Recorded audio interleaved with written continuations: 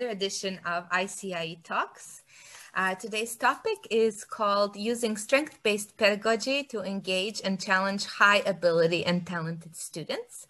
And today's talk will be led by uh, two uh, very important people in gifted education. First one is Professor Dr. Joseph Renzulli. He is the director at UConn's National Research Center on the Gifted and Talented and Board of Trustees Distinguished Professor of Education Psychology at the NEAG School of Education. A leader and pioneer in gifted education, Dr. Joseph Renzulli was named among the 25 most influential psychologists in the world by the American Psychological Association. He received the Harold W. McGraw Jr. Award for Innovation in Education and was a consultant to the White House Task Force on Education of the Gifted and Talented. His work on the enrichment triad model and curriculum compacting and differentiation were pioneering efforts in the 1970s, and he has contributed hundreds of books, book chapters, articles, and monographs to the professional literature.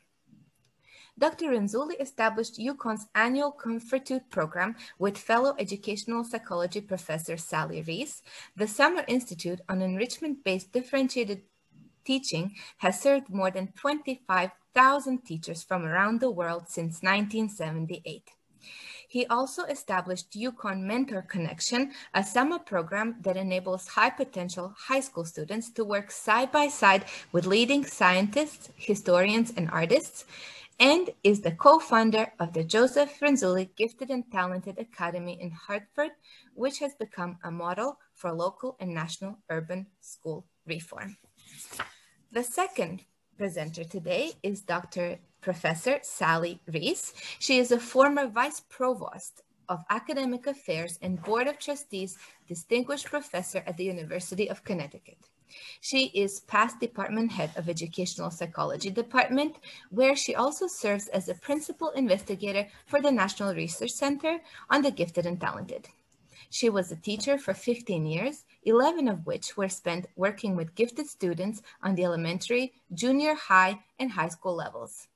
She has authored or co-authored over 250 articles, books, book chapters, monographs, and technical reports. Her most recent work is a computer-based assessment of student strengths integrated with an internet-based search engine that matches enrichment activities and resources with individual student profiles. Dr. Reis is the co-director of Confratute, the longest running summer institute in the development of gifts and talents. She is a co-author of the school-wide enrichment model, the secondary triad model, and dilemmas in talent development in the middle years. Dr. Reis serves on several editorial boards, including the Gifted Child Quarterly, and is a past president of the National Association for Gifted Children. She recently was honored with the highest award in her field as the Distinguished Scholar of the National Association for Gifted Children and named a Fellow of the American Psychological Association. In addition to these very important people, with us is Professor Taysir Yamin. He is the General Director of the International Center for Innovation in Education, and he will be introducing today's lecture. Uh, thank you, Nana, for the introduction. Uh, today, the talk will be as follows. Uh, this lecture includes uh, four parts.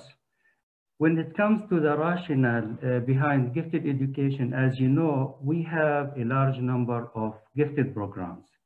But before we have the, these programs, we have to make into, or we have to take into consideration how could we handle diversity? Because we have diverse population of gifted people.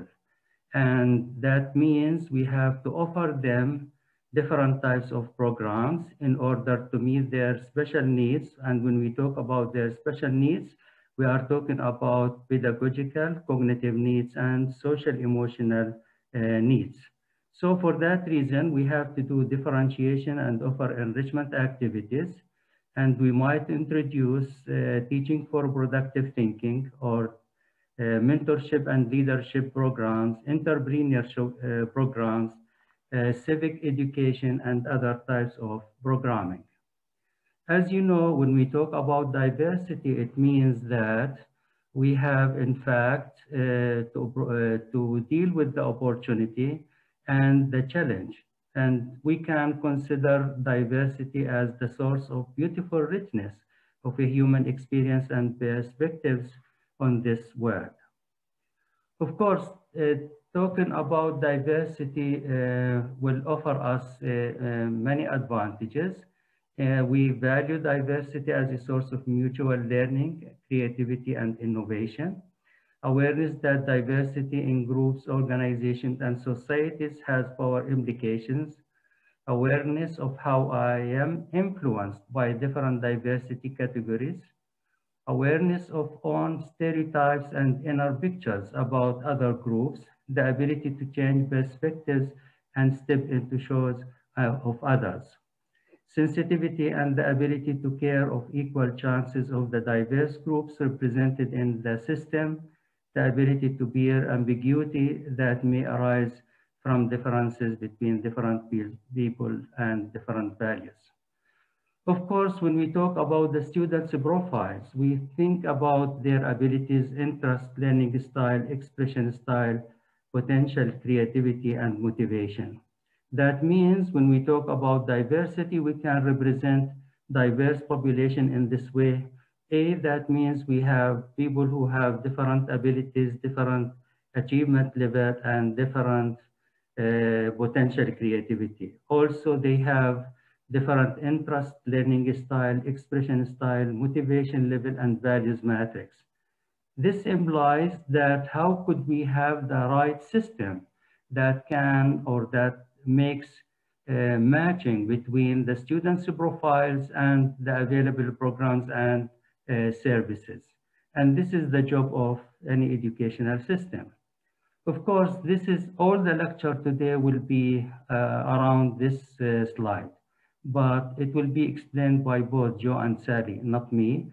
And I will leave it for the rest of the lecture. Also, this is another sub-theory which is developed by Joe Renzulli and his team, and also it will be at the core of this topic uh, today.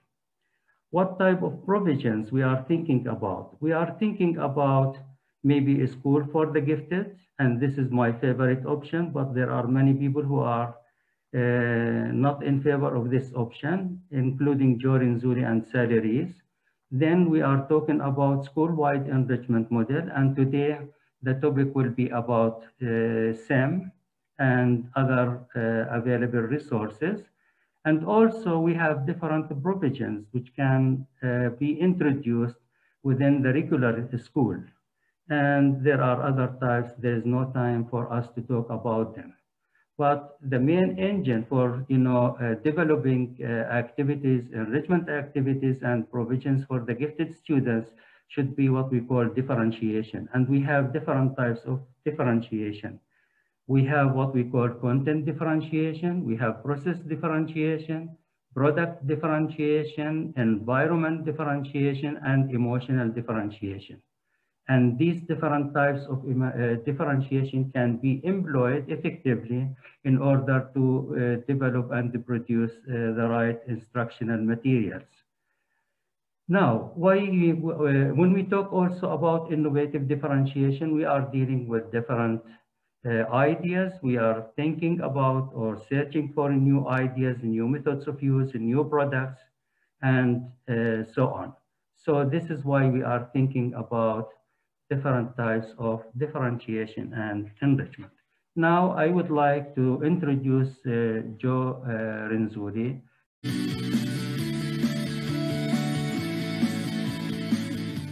I'd like to uh, begin by uh, pointing out that um, we've been working on this for 40 plus years, a lot of research and a lot of practical implementation. We've learned more from the teachers that have used our model to enlarge and improve and change the model than actually existed at the very beginning. So we're greatly indebted to them. And also, we stand on the shoulders of lots of giants in the field. Uh, many Californians, uh, for example, uh, Sandy Kaplan, and uh, people that have contributed in other areas uh, and Jim Gallagher and Paul Torrance and Julian Stanley, the list goes on and on, ask me sometime to give my historical lecture because I love those people. Um, however, uh, you see the two quotations on the bottom of the screen there. Ideas and theory without practice are mere intellectual play. We believe that all of the theories aren't worth a dime unless they can be translated into practice that teachers understand. And so we, we pride ourselves on always working toward uh, practicality. And the second quotation there uh, says uh, about the same thing. So anyway, there you see a beautiful picture of our campus, and we'll move on to uh, the first slide. What I'm going to try to cover in this set of slides is the basic difference between two types of pedagogy. And one of those is pedagogy for acceleration or enrichment, or what we typically use in the regular curriculum. And the second, which you see on the left, and the second is the uh, enrichment learning and teaching pedagogy that's been the focus of our work, and ELT we call it for short. And I want to emphasize at the start that these two things are complementary, they're not competitive. People always say that the gifted, the enrichment people are against the acceleration people and vice versa. We believe that both are important and both have great value. You see there uh, our area of concentration, uh, and whereas there's a prescribed or canned curriculum in most cases on the left, our curriculum is one that you'll see in the next slide or two that we try to build around the child. So that's why I put the word uh, curriculum in quote. And we emphasize that in this kind of a curriculum, only necessary information to address a particular problem that a young person or a group is working on becomes the, the knowledge, the information, the background, the know-how. Uh, and uh, the other things there, you see some differences in time. In our work, uh, especially when it comes to our most advanced type of enrichment, type three, is determined by the nature of the problem. I've started on things that I thought I could get done in two weeks, and I'm working on them two years later. And by the, I put destination in quotes because uh, that does help set time limits. If you're entering in a state science competition, for example, or you're getting something ready with a publication de deadline, then that also enters into it. So there are more real world endpoints in what we're talking about. I think that the last item is the, almost the way I like to describe our words, work, the student thinking, feeling, and doing like the practicing professional even if at a more junior level than a person from Caltech or MIT or a filmmaker from Hollywood. They're doing what the big guys and gals do, even at a, at a more junior level. Um, I want to begin by talking about something that's very important if you're going to use this kind of work, and that's two different kinds of, of assessment. This is information, let's say, underlying ELT pedagogy. And the first type is what most educators are familiar with, assessment of learning. We find out what a kid already knows, and that's supposed to help us do something with that information. Uh, the type that uh, I am focusing on right now, in fact, in a current research project, is what I call assessment for learning. What skills students need to develop to learn to enjoy, be creative and enthusiastic about their learning. And over the years, we've developed a number of instruments uh, uh, uh, to, to gather this information. Instruments, by the way, completed by students. And the three in yellow are the ones that are already built into Renzulli Learning. They were originally paper and pencil instruments. I have Interest-A-Lyzers that are from diapers to doctorate. I give them to incoming doctoral students to find out what they want to learn about when they're here at UConn. And the other ones are instruments that are currently undergoing uh, research and development. Everything we do is research, and those will eventually be invented into student profiles. So Sally is going to show you some wonderful examples as we move along. Um, and one of the things, this little slide is to point out that when there were paper and pencil version, there were almost endless piles of paperwork for teachers. And so one of the things, the reason we developed Renzulli Learning is all that information, interest, learning styles, etc., is now found out by a young person sitting down at their computer. And we built that into the Renzulli learning system. So go on. This next slide is something that you already know. Oops, I'm sorry. Am I going in the wrong direction here? Okay. This is something you already know but haven't thought about lately. All learning, and when I say all learning, I mean from diapers to doctorate, exists on a continuum. And that continuum ranges from deductive, didactic, prescriptive on the left-hand side. Remember, I said both sides are important. All to the right-hand side, which is inductive, investigative, and inquiry-oriented. And there you see the outcomes of those things, the major theorists. Um, I always like to point out that the behaviorists, Pavlov, Pavlov, Thorndike, and Skinner worked with rice, mat, uh, right, mice, rats, chickens, and pigeons to learn to develop a learning theory. Well, the human brain is a little bit more complex than those. Now, the focus of our work is on the right hand side. And we have a very simple goal for our work, and that's to produce. When people ask me why gifted programs, why talent development programs, it's to increase the world's supply of creative and productive people the, what I call the gold standard. So there you see uh, the uh, really what is the major goal of what we're trying to do. Um, and again, I want to emphasize that we're not arguing against regular curriculum, accelerated curriculum, but we do want some balance between just test prep types of education and what we call CP or creative productive giftedness. You'll see many examples of that tonight, today whatever time of day it is in your time zone. Also, I want to talk briefly about two different types of curriculum. There's a, the curriculum is what we teach, and I divided them into curriculum one, standards, textbook, test driven, prescribed, and the second curriculum that I've already mentioned earlier, that we build the, the curriculum around the students. Pedagogy is how we teach it. And this is a list of major types of different strategies that uh, teachers use uh, in various ways. And I want to also point out that they don't use any single one of them. Oftentimes they're used in combination with one another. So those are the kinds of things that are the focus of the pedagogy in ELT uh, theory. Now, how does this work? Glad you asked that question. We start at the middle. You see a student or a small group of students that share a common interest or problem, and, and we'll work on it through some kind of a group project. And the first thing is what we call problem finding and focusing. I'm interested in whales, fine. Now, which aspect of whales, migration, uh, uh, fertilization, whatever uh, kinds of things, uh, food chain, uh, also, you see two other things that we do there.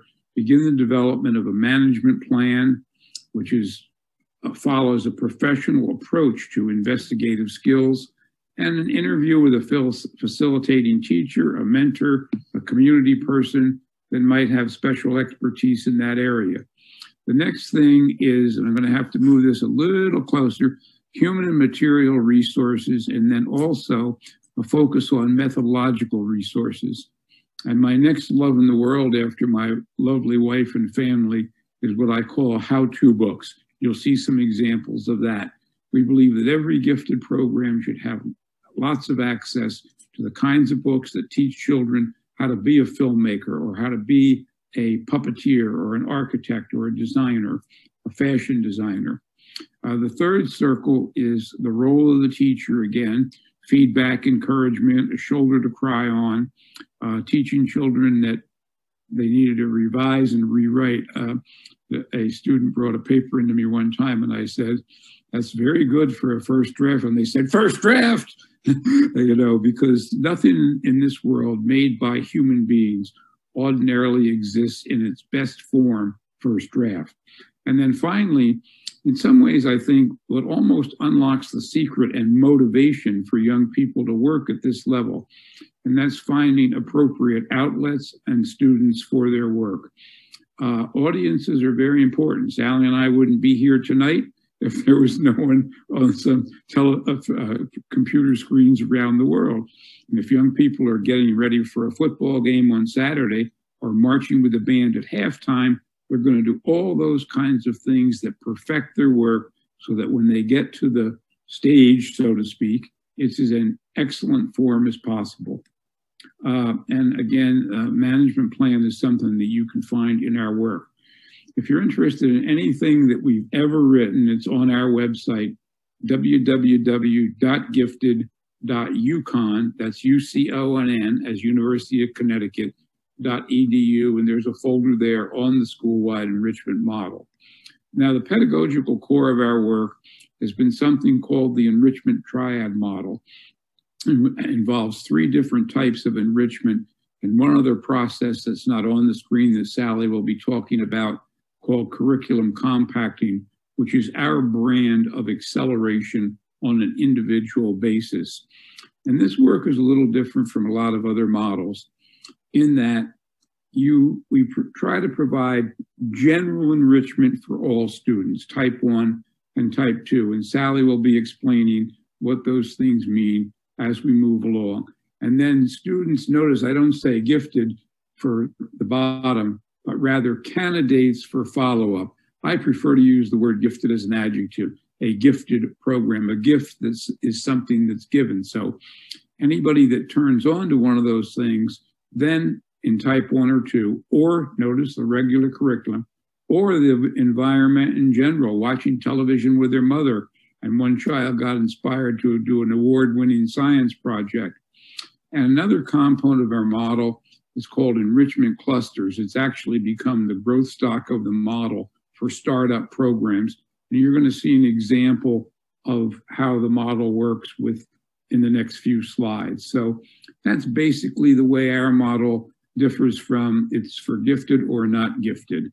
We're trying to make school a more enriching and enjoyable place for all kids because that's when lots of hidden talents will emerge. Uh, with type one, we like to refer to as the hook. That might be a visiting speaker, watching a TV show, uh, going on a field trip, and all of a sudden we do a, a follow-up, a debriefing. We then see who wants to do go further into type two or directly into a type three. And notice also the backwards arrows. Some of your best type ones can be type threes done by other children. Yeah, famous scientists can come and show his or her work, but if another kid about their age shows their work, then that is, is oftentimes inspiring. So type one's the hook, type two is the ladder, and we have a type two taxonomy of basically thinking skills and executive function skills, learning how to learn skills that are built into uh, our type two training. And type three, again, is the young person thinking, feeling, and doing like the practicing professional. So here we see a little picture of a child doing a project. Um, now, I'm a quoteaholic, and the only quote on my door at the University of Connecticut, because the painters made me take all the other quotes down, is this one. Example is the best school of mankind, and they will learn at no other. And so um, I'm going to start with an example. And this is a regular classroom example. And I'm not going to read all of that, but just tell you the story. Kylie Copenhagen was in uh, her, I believe, fifth grade classroom. I'm not sure. And she fell in love with a lesson that the teacher was teaching on insects. And she really became very fond of ladybugs. And so, again, with some support from her teacher, she was given an opportunity. So, let me bring up one more circle here. She was given an opportunity to start work on this project and also uh, to gain some assistance from the uh, enrichment resource teacher in the school. Now here comes the things that were most useful to Kylie, even things there about starting your own business, but uh, how to design board games, uh, rules of play, and table games, how to make and, and, and play them. And so with that information, she developed a, a game. Oh, here's the one, how to start and run your own business that we got her. She developed a game called the Ladybug Game. Here you see the cover of the box. Here you see a picture of the game. But let's hear from Kylie herself.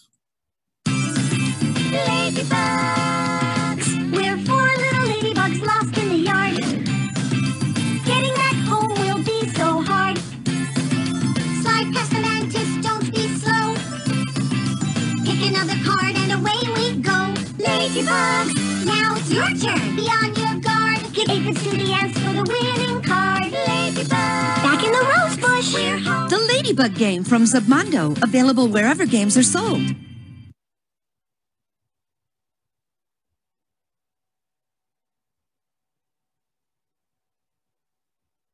She's almost made enough money to pay for college, graduate school, and medical school. Uh, Okay, here's a regular classroom one. And again, I'm not going to read all of that, but I like this story. It's about a, a little boy named Ethan. And Ethan might be considered a good, solid, average student. Um, and uh, he was enrolled in an enrichment cluster called Do You Want to Be an Inventor? And um, before I finish telling the story, let me point out that uh, you're going to see a short video and I'm talking now directly to principals.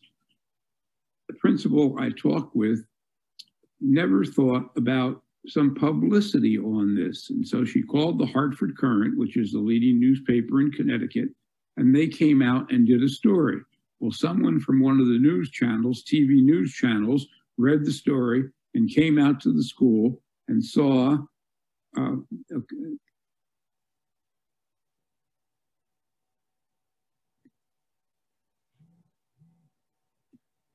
Oops, go back one. How do I start this? There you go.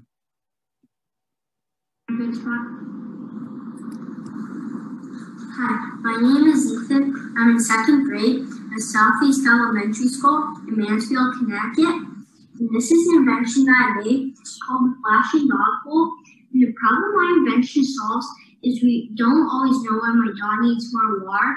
So this is an easier way to tell. It's by a weight sensor electrically attached to a light bulb. And when water is inside the bowl um, and it's full, the light bulb is off.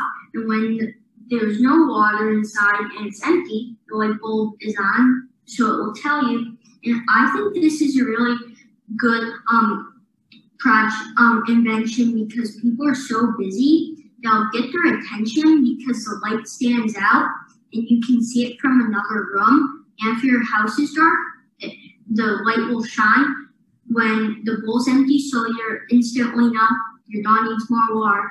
And the change I made along the way is even though it's called the flashing dog bowl, it it doesn't flash because I was afraid that if I made it flash, then it would scare your pet and then your pet would want to drink out of it. And and more than half of the people in the United States are pet owners. So it's a, so it's a really good invention for pets. And this is my first prototype made out of cardboard and the bowl and the light bulb. And there and over time, um, because of time, I'm going to stop it right there. And and just um, I want to say a couple of things about Ethan. First of all, again, he was not identified as gifted, and there's a law in our state that, that says you have to be. But he had access to our enrichment specialist who helped him tremendously on that. He won his division of the state Connecticut. Remember, I said destination? Destination was the Connecticut State Invention Convention, something Sally and I started how many years ago? Long time. Long, long time ago. It's now going national. He then went to the finals at, at the Henry Ford uh, uh, uh, Museum in, in, in Michigan. And um, I just got something in the mail just a week ago uh, about this year's invention that he's working on. So I don't care if he's got a G stamped on his forehead or gifted or not, but we believe in what we call the concept of OR opportunities, resources, and encouragement. And that's what makes, he might be a famous engineer someday, and he may not. But the point is that we help them along on that path. A couple of other things that uh, are important ingredients of ELT, what I call just-in-time information. He didn't read poetry books to get ready for this. He read books on engineering, on making things and things like that. So this curriculum too is really a JIT or just-in-time curriculum information that you only go and get get when you need it. Uh, important ingredients again, ELT, and there's a how-to book for absolutely everything. There's even a how-to book for how to write how-to books. And one how-to book, which I don't recommend, uh, it, it is for adults. And so therefore, uh, we will skip that one. Um, important roles of teachers in uh, ELT pedagogy. Um, we have two different major roles for teachers. One is the very proverbial sage on the stage, but the other one is what we call the guide on the side. And that's that list of different teaching strategies that you saw earlier, where the teacher is letting kids do more of the work and they're uh, the guide on the side that provides the assistance, the resources, and uh, the kinds of things that they might need to improve their work. Now, I think I'm almost up to my last slide. I know what you're thinking. Give me a break. How can we accommodate all of these things? I got 26 students, and where can I find the time? Well, we took a hint from places like Google and Microsoft and Amazon. Do you know that every week I get a personal letter from Amazon? Dear Joseph Renzulli, or hello, Joseph Renzulli, it says there. And they send me certain books that they think I will buy. Now, how do they know that? Very simple. We have their, pro- they have my profile. They know what I bought.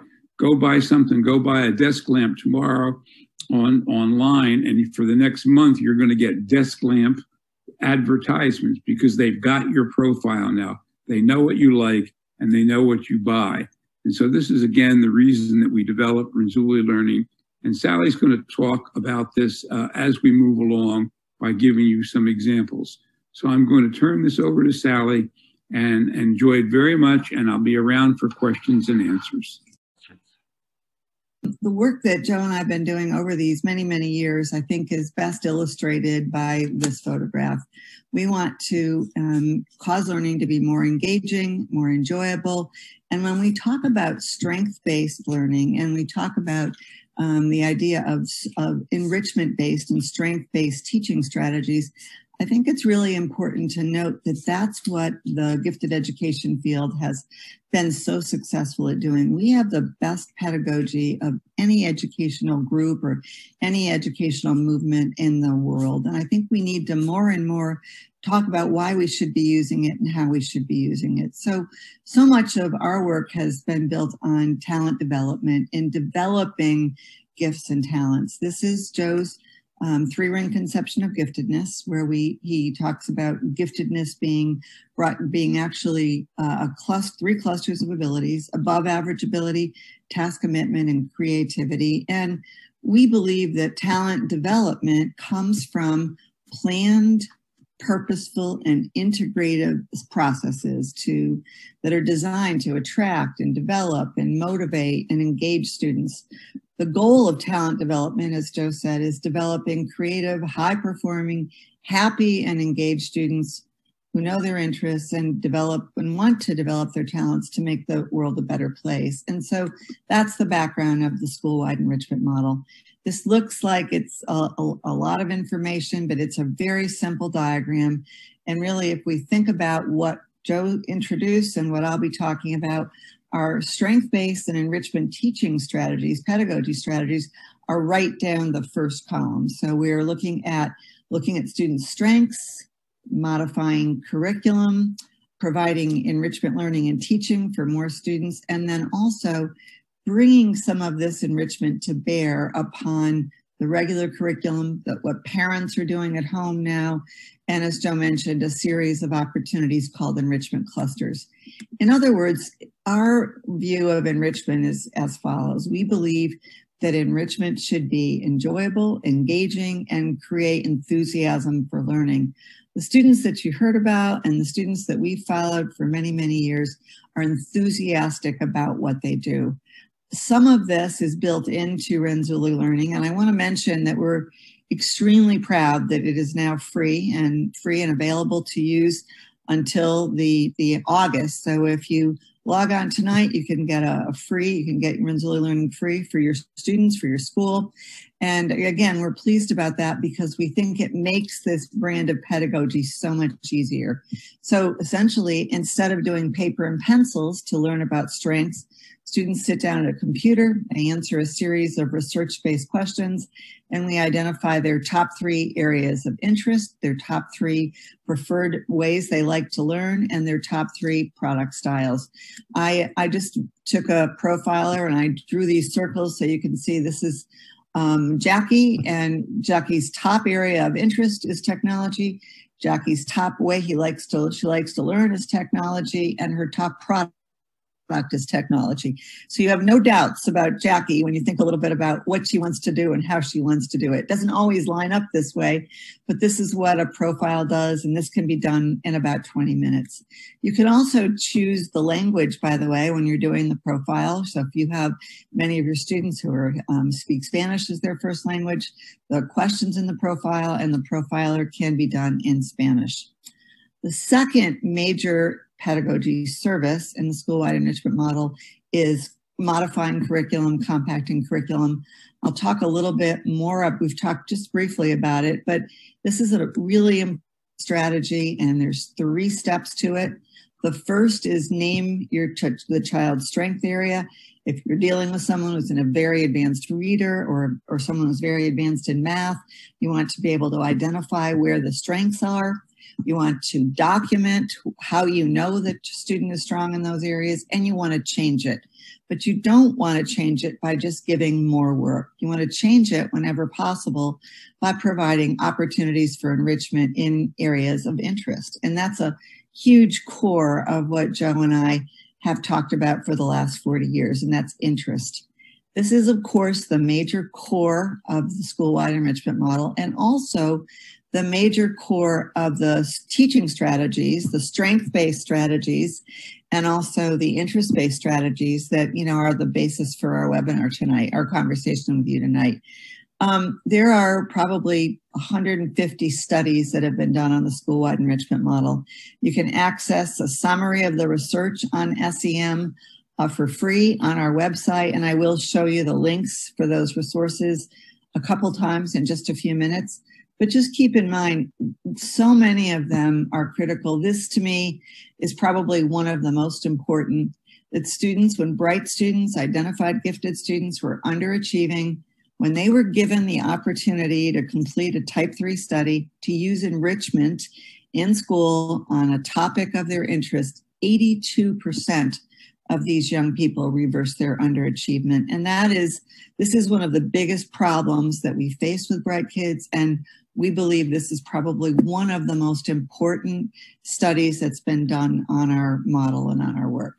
So again, in this, there's, there's three different types of enrichment. There's exposure, there's training, and there's opportunities for small group and small group projects. And what we want to do for children during this time, as Joe said, is provide them with an opportunity to experience what it's like to do creative and productive work and to feel good about it. So you saw the Ladybug game. Let me introduce one other student. And this is a young boy named Michael. And Michael participated in an enrichment cluster on starting his own business, being a social entrepreneur. And essentially what Michael decided is that he wanted to develop a business so that he could buy uh, hats and gloves for high poverty children in his area, many of them immigrants. Michael lived in the very cold Northeast and wanted to buy, you know, again, mittens, gloves, scarves for children. He got a loan from his principal um, after he decided what his business would be. His district was using Renzulli Learning. He was able to identify um, how-to books that he needed. He was able to access many, many websites to start his business. And what Michael actually developed was a business that was um, based on making buttons. So he figured out his business. He had partners. I should mention Michael was in second grade when he started this project third grade when it when it you know when it finished. Um, but here he is. Uh, we were able to meet him. Joe and Del Siegle met him at a at an enrichment cluster fair, and here he is showing Joe with great pride his buttons. And I think this is the this is what strength based pedagogy is all about, and this is what is so important in a talent focused approach. We want enrichment and educational experiences to align with students' strengths, interests, and talents. We can use those strengths to, to teach students skills. We can use those strengths to increase engagement and enable personal expressions and, and really think about developing the next generation, as Joe said, of inventors and produ producers and creators. And by the way, since so many of you are home today, I think you can also realize that you can do some of this at home. Um, this is our youngest daughter. Joe and I are blessed to have two daughters. This is our youngest daughter. Uh, and this is her first enrichment cluster. I happen to be facilitating a cluster in the school and got to take this shot of her. This is the day she fell in love with theater. She made her first puppet. Um, and I, I just want to indicate that it was both a school and a home partnership that developed her interest and, and helped her become um, what she is today. So just a, a personal story. Uh, she was in elementary school. She took dance lessons, which we of course paid for. She wrote plays every year. Here she wrote a play about unsinkable Molly Brown. This is my grandmother's, uh, some of my grandmother's clothing that she used as a costume. That's her headshot actually from high school. She starred in every high school play. In middle school, her teachers compacted her curriculum. She headed off to Northwestern University to be a theater major. Here's her headshot from Northwestern. And where is she today? She's 32. She is a, and this is from her website. Her name is Liza Renzulli. She's a filmmaker, comedian, writer, editor, um, podcaster. Her podcast is 51 First Dates. She's just finished doing an editing job for Comedy Central the point is, she loves what she does, and she was blessed by having a school district that promoted her talents as well as parents that promoted her talents. And that's what enrichment teaching and learning is all about. Again, it's about exposure. It's about exposing children to different kinds of opportunities we certainly took her to plays. We certainly helped in the school. We certainly made sure that she had the books she needed. But we also supported her type threes. At one point, she turned her our dining room table into a puppet theater. And this is what it takes to be able to develop the kinds of pedagogy and, and student strengths that, that results in having creative young people who grow up to do creative things. So just in summary of this section, think a little bit about type ones. Now, especially assigning students virtual field trips, assigning them opportunities for online uh, activities, DVDs and, and movies that they can read online, clips, contests and competition. All of the resources on Renzulli Learning, and there are 50,000 that are selected and vetted, particularly for students um, are, are free. And again, this is a great time to experiment with this. Um, when you are back in school and we are all back and, and uh, being, being able to expose students to speakers and bringing people into the school. I love this slide. This is a, a local historical society director uh, who's retired but comes to speak at schools every once in a while. And he spoke to a classroom of about 30 students, but look at the joy in the faces of these young girls who went up to ask him questions. This is enrichment pedagogy, and this is what our field is so well known for. It's making sure that students are exposed again to wonderful places, people, ideas. Now there's so many opportunities to expose them to brief clips online, to documentaries to poetry.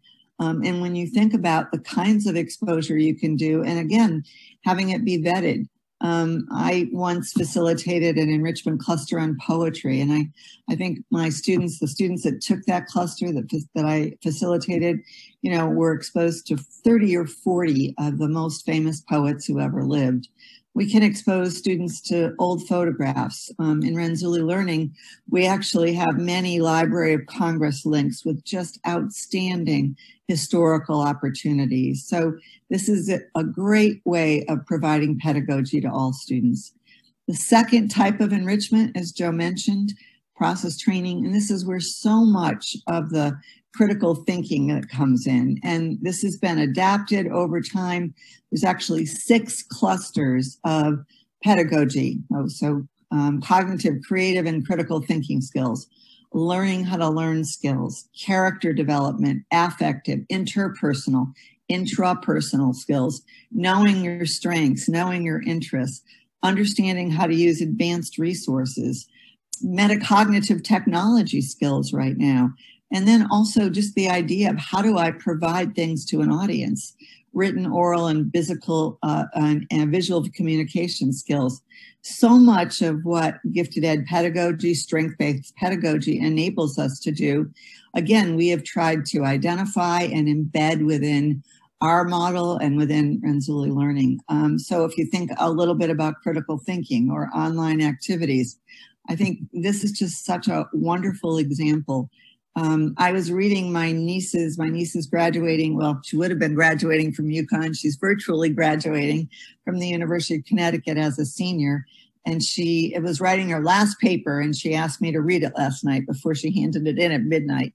And her paper was about fake websites and all of the fake websites and all of the ways that Twitter uh, has promoted fake websites today and made me think of this slide, uh, which really is a, a, fake website set up by researchers about a tree octopus. Now, if you say tree octopus just for a second, we would realize that this cannot exist. Octop octopi cannot live on trees. But yet, in several different research studies done by research teams, um, what we found is that, you know, 98 to 99% of students fell for this. They actually wanted to do fundraising for tree octopi, octopi. And, and so there's probably never been a time where we need good type two training skills more than we do now. And then of, la- of course, the last part of the enrichment triad model, the best pedagogy for enrichment teaching and learning is projects. When we do longitudinal studies with students that have been in school-wide enrichment model programs, they tell us over and over again about the type threes they did, the projects they did, the trips that they took, the opportunities they had to do things that were memorable, uh, to the type ones that they went on. And so many projects um, have been built into Renzulli Learning, but also so many projects um, have been done by students under the tutelage and guidance of a teacher. And, and so right now, when we think about contests and competitions and how-to books and all of the ways that we can guide students in strength-based pedagogy, think about creating interest centers that can now be done online. I mean, when I think about what I used to do to create paper interest centers at the back of my classroom, and now realize that, and, and by the way, if we were in school, I would still advocate that we would do some of this. But right now, there's so much that we can provide that's, again, already vetted, that makes things, the kinds of things that we want to do, that we can send to students, that we can have them watch, that we can have them participate in, that results in this, this kind of a face, this kind of a joy of learning. And so uh, another important gifted education pedagogy strategy is supporting the struggle. And I don't think there's a better way to introduce that than to talk a little bit about uh, Vygotsky's zone of proximal development. If we let bright students choose the first project or the first type three they wanted to do um, and, and just told them to do it, they would be writing a lot of reports. Instead, what we advocate in enrichment pedagogy is supporting the struggle, have students realizing what it takes to go to the next level. And that can be done mainly with a teacher and a student and, and also parents. So if you're parents of students, we know this is hard and particularly with bright kids who want to get away with their very first attempt at something.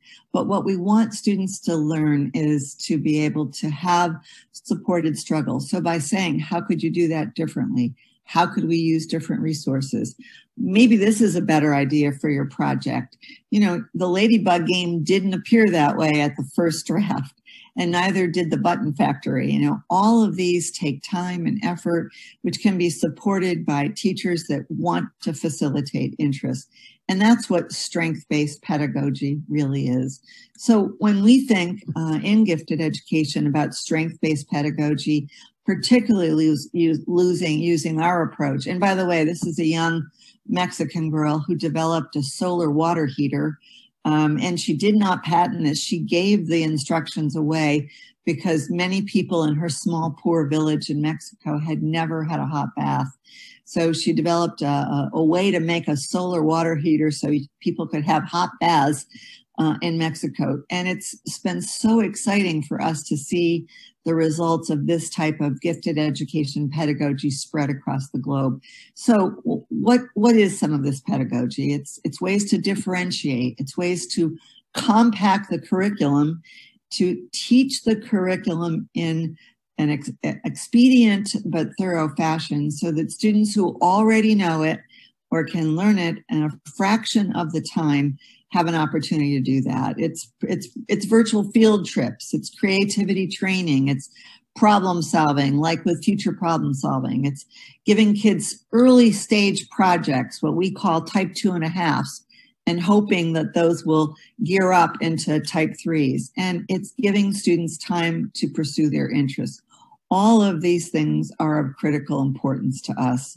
It's providing enrichment clusters. Um, these are done in schools that are using SEM for all students. Um, oftentimes, they're done on a Friday afternoon. This is when students come together with teachers, um, oftentimes across two or three grade levels. Teachers facilitate a cluster that they want to do. Students participate in clusters that they choose. Um, this is one from Bridges Academy in, in, Los Angeles, California, which is a school for twice exceptional students and uh, students who are both very, very much advanced, but also have significant learning disabilities. And they have clusters every Friday afternoon all year long. And this is one called Culinary Critics. But one of Joe's and my favorite things in the spring is to be able to, in the fall, is to be able to visit schools that are doing clusters and see the thousands of different ideas that teachers have for enrichment clusters. Here's one on Save Our Planet. Here, here's one on crime scene investigation. And here's one that was done in a California school on water watchers during drought time. And as you can tell, if you can see the flowers over my back, I'm a gardener. Here's one that I might do on horticulture. And again, the way that a lot of bright students have time to do this is with curriculum compacting, having an opportunity to be able to prove that they can do the work in a fraction of the time and then to change it. And again, we believe strongly that enrichment pedagogy enables teachers to serve as resident escalators. This is where the Vygotsky supported challenge come in, supported struggle comes in. Teachers, as Joe said, serving a, as guides on the side and supporting uh, talent development activities across all different interests. So when we think again about what's a strength-based talent development approach, it's using strengths and interests to facilitate the kinds of enrichment pedagogy that our field's known for, all the way from Sandy Kaplan's work to depth and complexity to our work in strength-based instruction and embedding critical creative thinking and problem solving, creative productivity. So students grow up to be inventors and writers and musicians. This is not that difficult. It isn't that hard. Uh, in fact, you know, I think many of us want to do this with our own children. We want to embrace their their need for challenge. We want to provide their social and emotional um, development and make them happy to be in school. So Many resources are at your fingertips tonight. Renzulli Learning free until August. We hope many of you will try that at home with your own students um, that you're working with, with your classrooms, with your schools. Joe mentioned our gifted www.gifted.uconn.edu. Um, our school-wide enrichment model, there are free resources. There's an entire folder on it. Um, and I think, you know, what I, I just like to kind of conclude with, and, and before we go into questions, is, is this slide. Um, Joe and I were so blessed last year. We've been married um, almost 40 years, and this is our first grandchild uh, from the two of us. We have two other grandchildren that came from Joe's first son that we love dearly. And this is our beloved Abby, who was born uh, in September of, of 19. So she's now uh, 19 months old. And we got a very early clue to Abby's interest when her music teacher walked into the nursery school she was attending last year. She was about eight or nine months old when this photograph was taken, just started to sit up. And look at the joy on Abby's face when the music teacher walked in. Just look at that face. Now, um, because we're actually quarantined with our daughter and son and, and our and our granddaughter, I do a daily time with Abby for music enrichment. I know my friend Ben is listening and he'll be happy to hear that. But this was taken a few weeks ago when I walked in to do my music time with Abby. It's not so hard to figure out what this 19 month old loves. She loves music.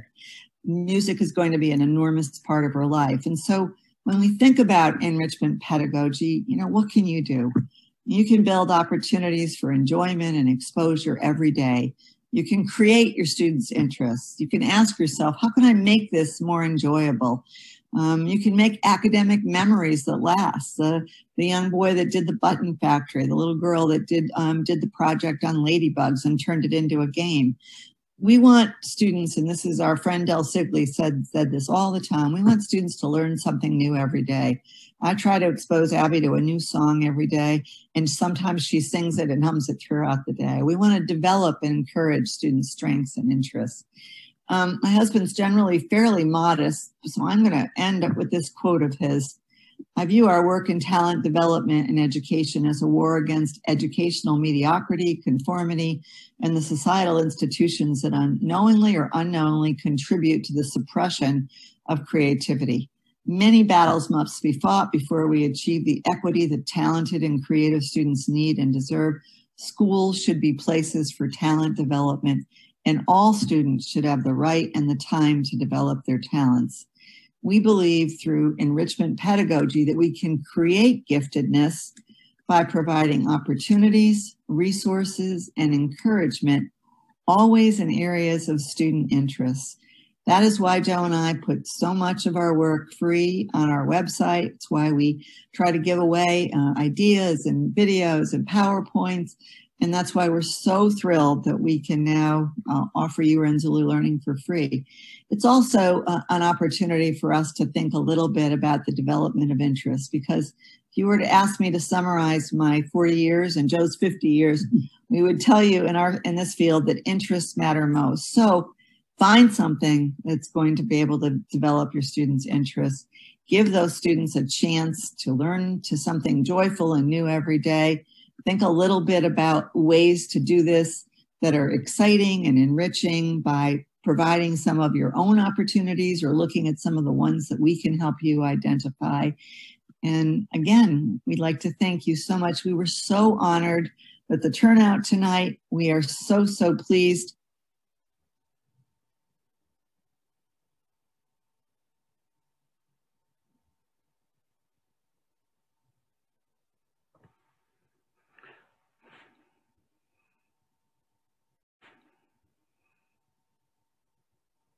Okay, so we finished with the uh, third part of uh, our presentation today for Joe and Sally. And uh, now we are coming to the uh, fourth part, which is the last part, uh, to answer your questions. But before we uh, open the platform for questions, I would like to welcome my dearest friends, Joe and Sally.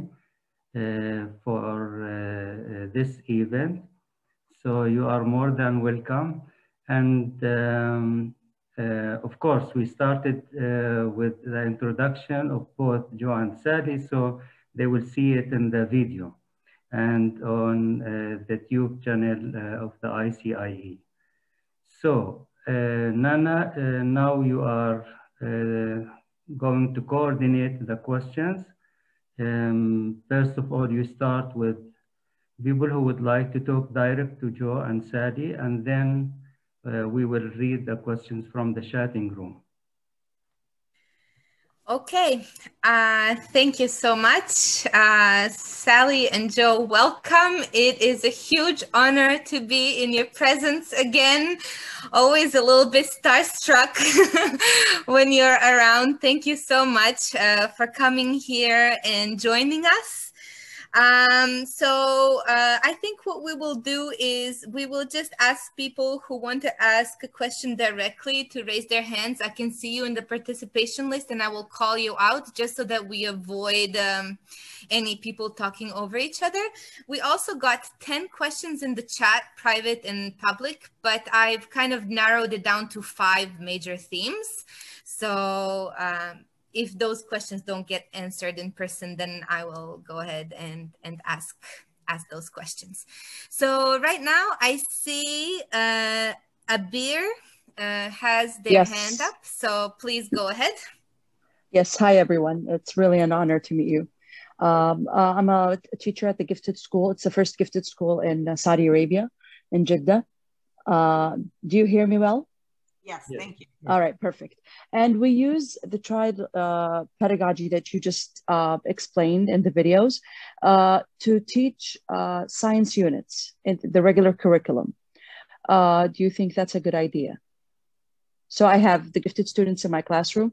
Each science class is 80 minutes. Uh, I have three science classes a week. And I tra transform the unit into, as you said, type one, type two, type three. So I end up, it's like a, like, like a project based um, uh, learning, but uh, I do it the way uh, uh or a way that is suitable for gifted students. And I'd like your remarks on that, please. Thank you. I want to mention, and the first is the regular curriculum is something we will always have with us.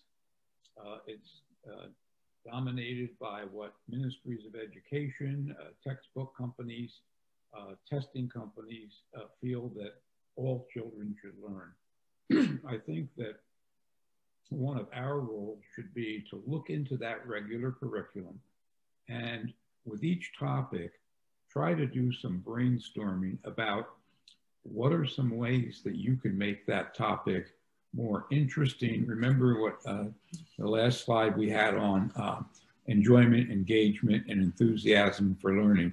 What could make it more enjoyable and more engaging for some, not all, some young people who have expressed an interest, a child that's raised lots of questions about the topic, that's asked uh, if you can meet with that to discuss anything further. You know, we can always almost tell interest by the, the glow or gleam in a child's eye. Uh, I think that one of the things that uh, we've developed in our work is a process which we call uh, enrichment curricular infusion. And what we do in this process is take a regular required topic, and then we ask a group of teachers, you might ask all the people that teach science to sit down and say, all right, we have to teach uh, uh, this topic. What are some ways that we can make this more interesting for young people who really express an interest in it? I think the other thing that I want to mention is that we would hope that you would set aside for your interested science students a time and a place within the regular school week or every other week where they can come together, what we call an enrichment cluster, where there is no prescribed curriculum. As Sally pointed out, you certainly will use some type ones to open up new topics and interests and ideas. And nowadays with the internet, you can show a scientific video on anything that's ever been dealt with since the invention of the wheel. And um, I think that in this, in this case, we're circumventing the must-dos of the regular curriculum and to the can-dos and want-to-dos that enrichment clusters are really uh, the, the focus. So those are the two things I can say. If we just go only by the regular curriculum all day, every day, and don't look in how we can uh, contribute some, what I sometimes like to call artistic modification. That's you as a teacher doing artistic things, so to speak, not, not just art, but in this case, science, but you're modifying the regular curriculum to make it more interesting and enjoyable and engaging for young people. Yeah, I would I would concur and just say that um, when you're teaching a content area um, subject like science, I think it's so rewarding to do what you're describing the type ones in science, the ability to give students time for independent study. When I first read about Joe's work, I was a, an English teacher, and, uh, and in my secondary English class, um, I set aside some time each week for type threes. You know, in some ways, they might have actually been um, smaller than type threes as students got started, but I set aside some time each week for some type ones in English, type twos in English, and type threes in English. And the students that did not want to do type threes, I just gave them more opportunities, you know, for type ones. So if that's the way you're doing it, that's very similar to what, what I did. And the results were really, really very, very uh, promising.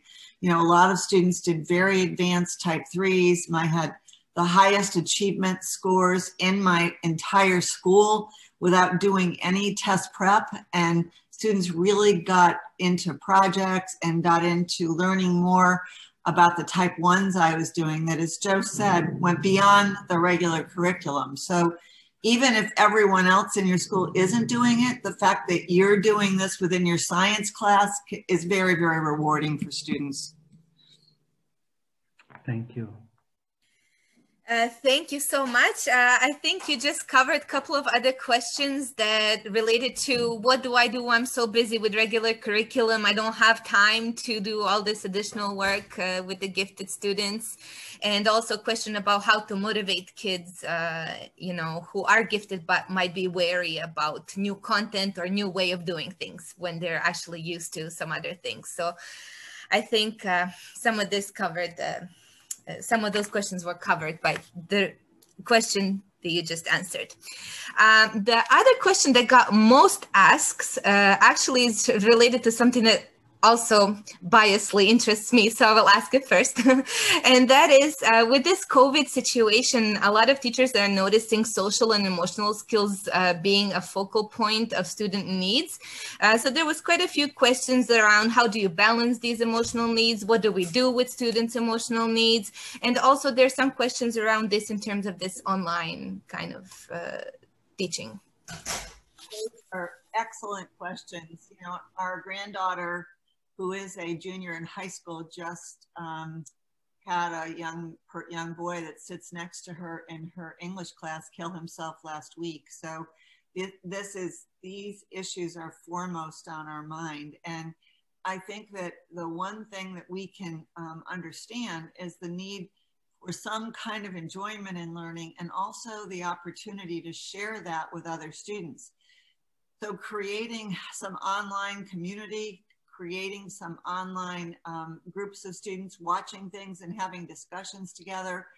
Um, there are any number of schools now that are doing enrichment clusters using, you know, the Groom, the Zoom or, or other teams grouping function. So students are able to work together once a week in these enrichment clusters, which are in areas of interest. And of course, even just having teachers send individual projects or type ones to students saying, hey, I was thinking of you. I thought you might want to do this type one online.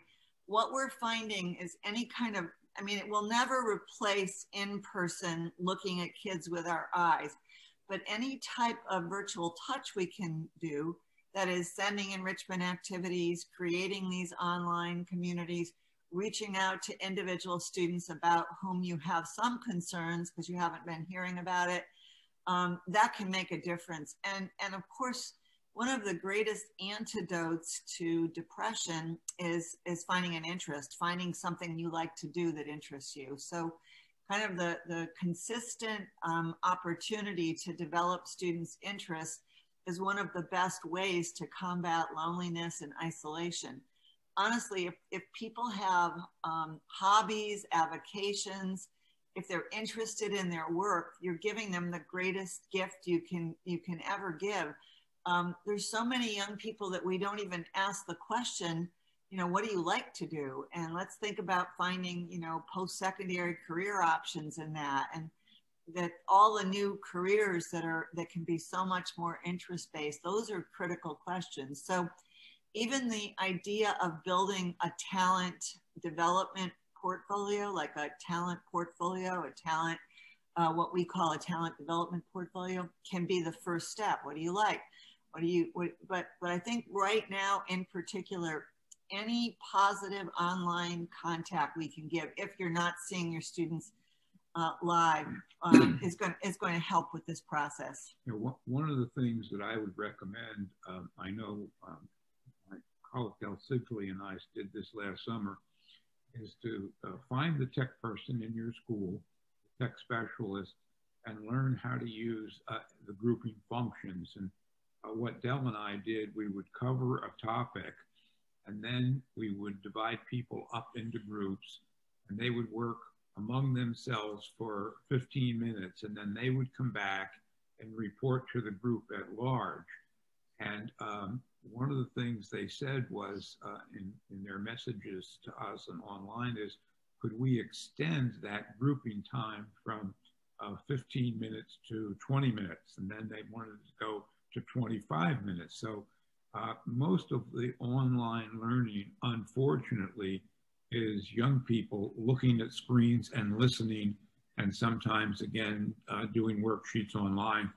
I think that any any of the grouping functions that are out there, and they're getting better all the time, uh, really should be in the uh, toolkit of the uh, school uh, uh, technology specialist. And so get together and learn those grouping functions and then figure out, don't always make the same groups. We always rotated our groups. So it wasn't the same three or four people working together all the time.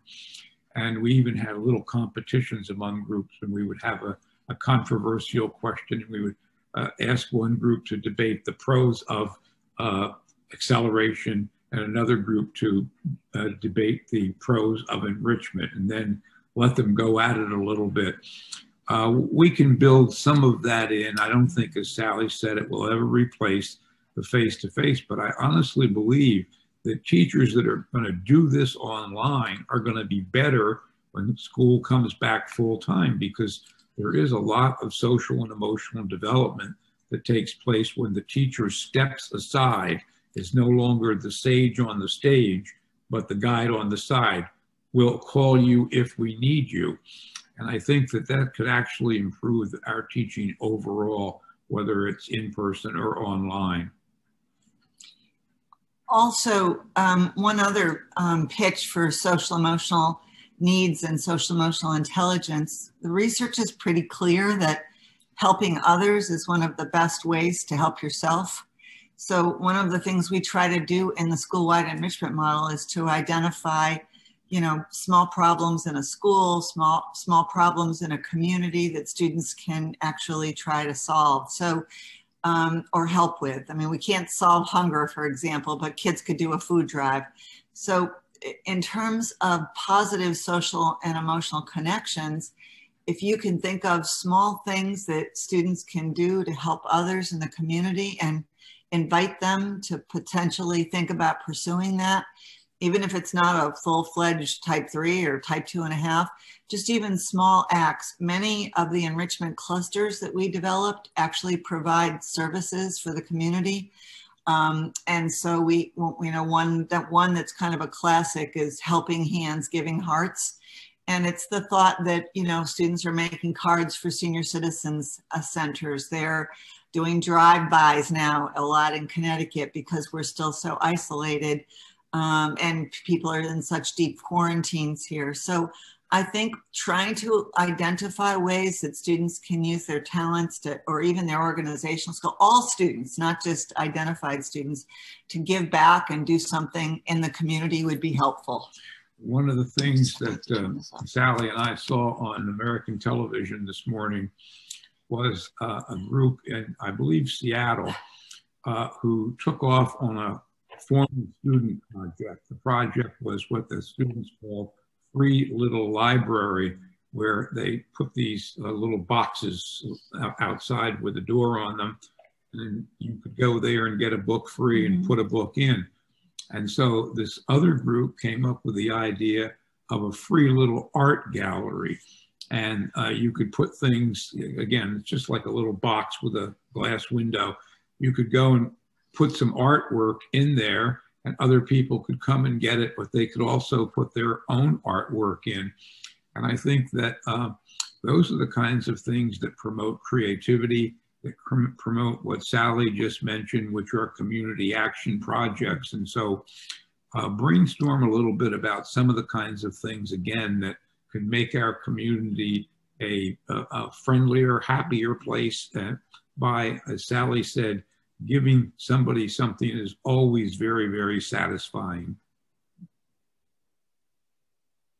Thank you so much. Uh, yes, building communities and finding ways to connect students with each other and with their community, it's super important. I think for us adults also.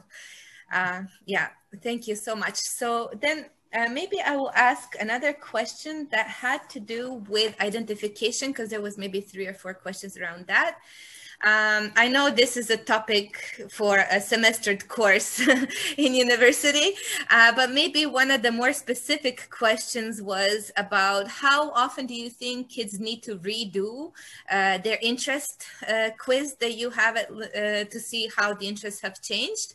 And maybe if you have some kind of overall um, advice in terms of identification that you feel is important that this group hears in addition to what was already said in the videos good question. I do believe that at least annually, we should look at the profile, the student's profile, and especially uh, things that relate to interest. But we also should have a time, any time that a new interest develops, that we can respond to that in some way.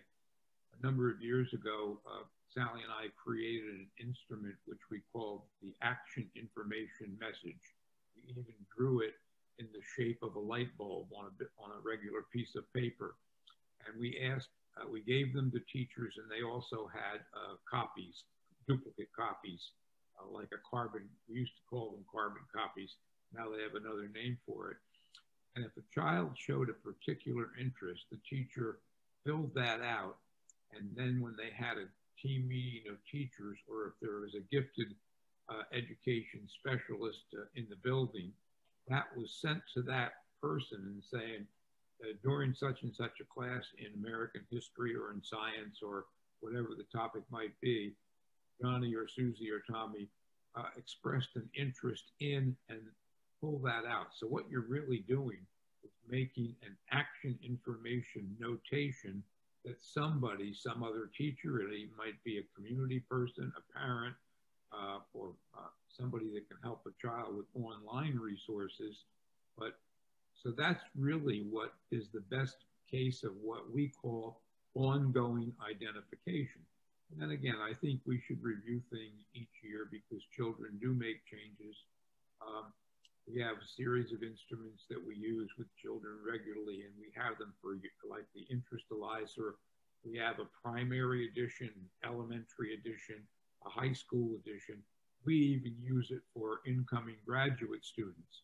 I want to know what a graduate student is especially interested in before they ever set foot on campus. And so I think that even giving them back, one of the things that I did when I was teaching, I gave them back to the students at a, uh, a given period of time and asked them to add onto it in a different color ink.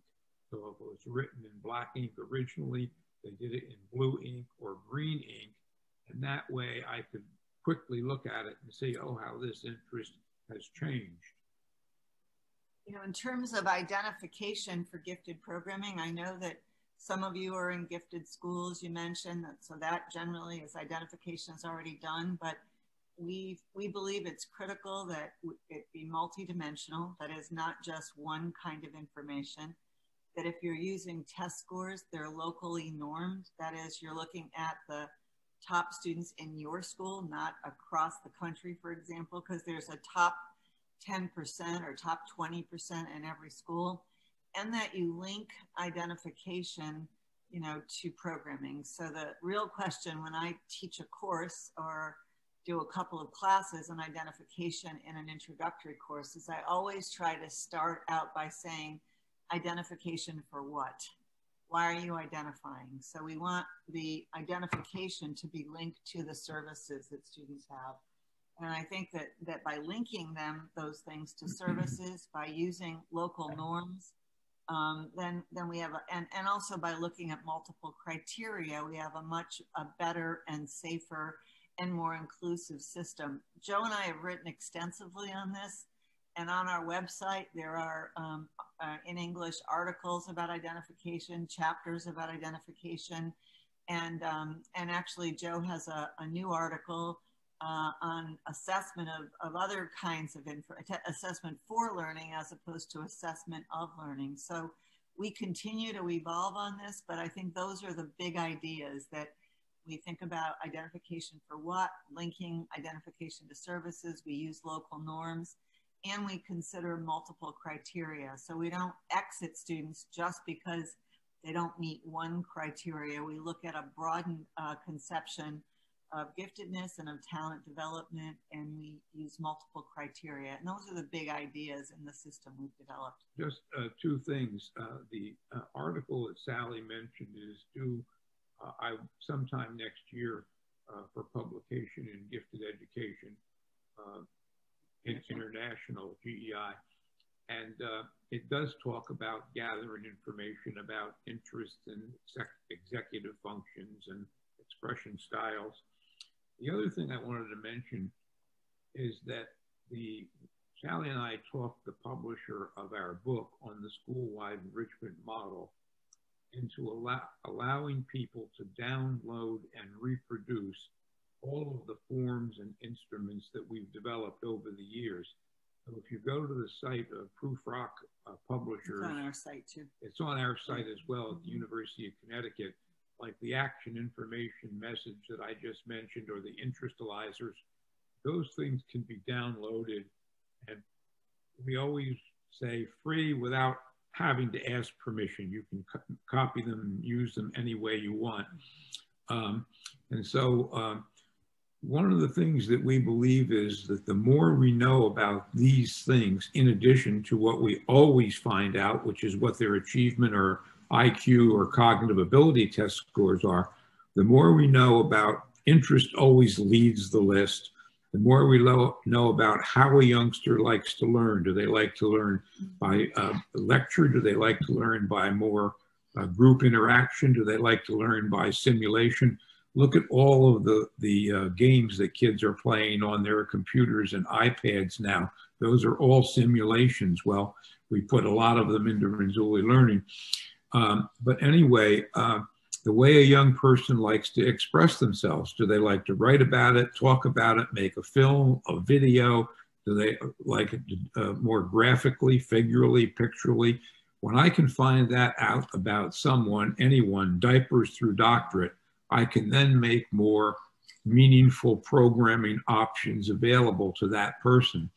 Um, I wish I could send you that um, article right now, but it's not it's not the something you can do when something has been accepted for publication. Watch Gifted Ed, Ed Education International within the next issue or two.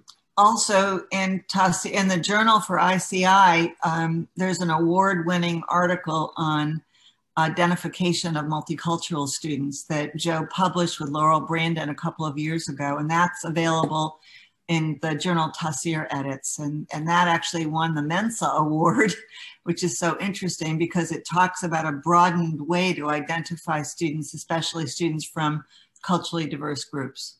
Uh, uh, Taisir, is that, uh, you said it was going to be in the January issue. Is that out yet? No, it's already out. Yeah, about to, about to be uh, out.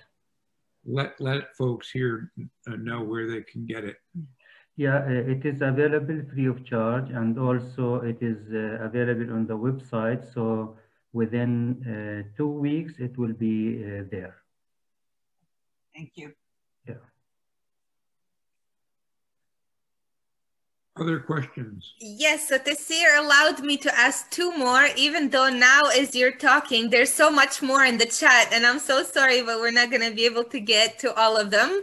I will ask uh, two more questions. One is from our dear friend Connie Phelps from Kansas Emporia University. So I know you're going to like hearing from her. So I will ask that question.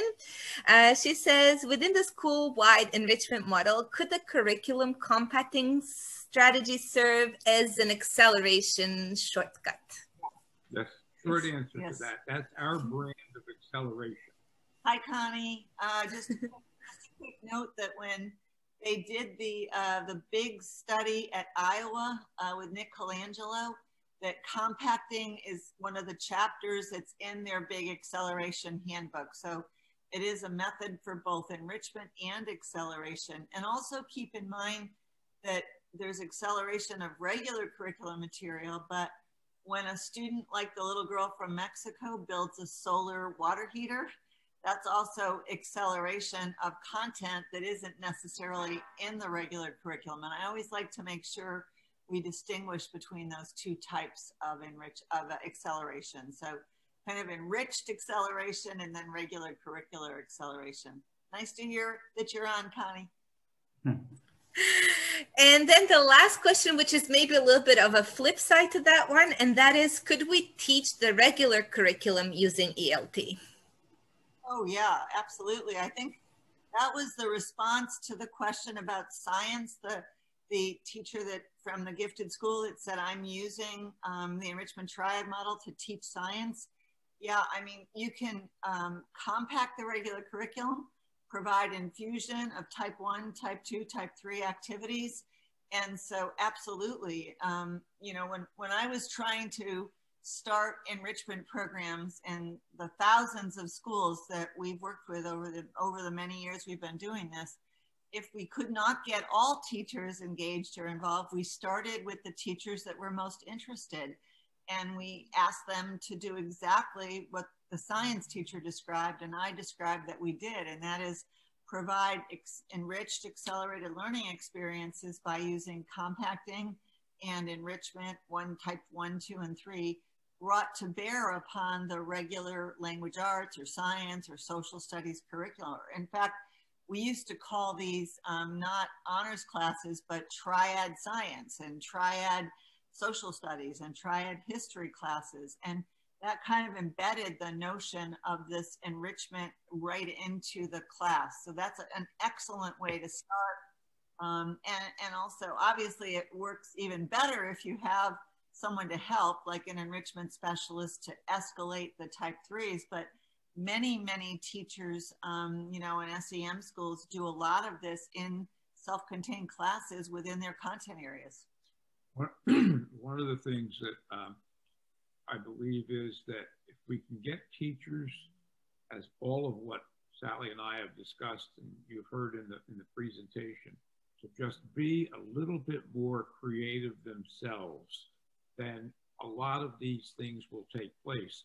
Uh, one of the things I can send you, and I'll send this to Taisir as soon as we sign off, is a chapter that we did uh, in a book Sally edited uh, on infusion.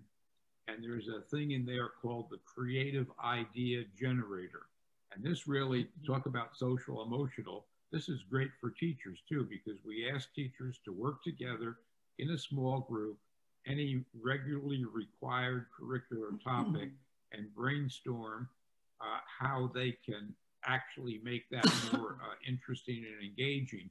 And so uh, I'll send that to Taisir.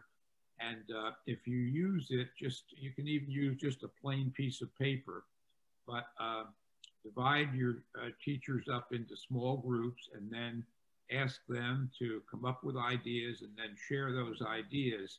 I had one group that was working on a very rigidly required topic in the uh, U.S. curriculum, the, the uh, memorization of the states and the capitals of those states. And in 10 minutes, they came up with 22 very exciting ideas about how they could make that memory oriented required topic more fun and more interesting and engaging. So, uh, the other thing before we sign off is uh, Sally and I I want to thank Taisir for organizing this and inviting us. Uh, he has spent his entire career uh, trying to make the world a better place by uh, encouraging more uh, services to teachers that could then be uh, manifested in the kinds of things that we do with the kids that we hope will make the world a better place. So thank you again, Taisir, for all that you do. And we are honored and proud to be able to join you in this event. Thank you, Joe, because uh, this is what we learned from you. Uh, you are our international mentor and uh, the human uh, and the humble uh, scholar who always contribute uh, countlessly and without any barriers. So you are the one who motivated us to do what we are doing. And in the name of, I, I am proud of you and Sadi for all what you are doing. You both make uh, gifted education completely different and uh, very sustainable. And uh, for us, it is a unique opportunity to have both you and Sadi in this uh, ICIE talks in the name of the International Center for Innovation in Education, ICIE, and on behalf of the participants. Uh, Today, I would like to thank my dear friends and mentors, uh, Joe Renzulli and Sadi Reis, for their unique contribution at the international level. And in addition to that, I strongly recommend uh, Learning System. Uh, this system is there since many years, and it has many unique functions and features which can be employed effectively in your school and for your teachers because you can use this platform in your uh, differentiation efforts in order to offer the right enrichment activities.